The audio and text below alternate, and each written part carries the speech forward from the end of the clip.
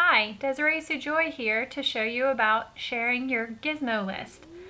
First of all, I'm at the home page for gizmos at explorelearning.com.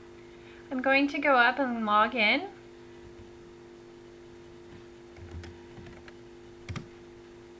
And next what I'm going to do is go to my settings or click on where my full name is under the Explore Learning logo. Then I'm going to view my public profile. And here is where I'll find any user materials that I've contributed or my shared class gizmo list.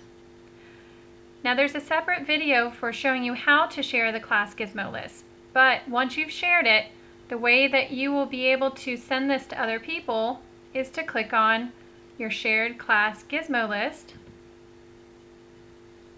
then go up to the URL or address bar, highlight it, copy it, which you can do by right-clicking and selecting copy, or just hit Control C if you're a PC user, or Command C if you're a Mac user.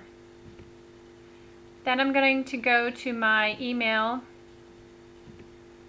and paste it in.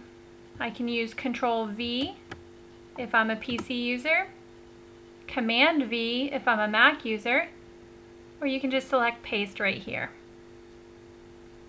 Then I'm going to send it to somebody, which will be myself at the moment. And this is a fabulous way to share gizmo lists within your school or with your colleagues at PLC meetings so that everyone can have a wonderful list that everyone knows how to use and can find and can enjoy.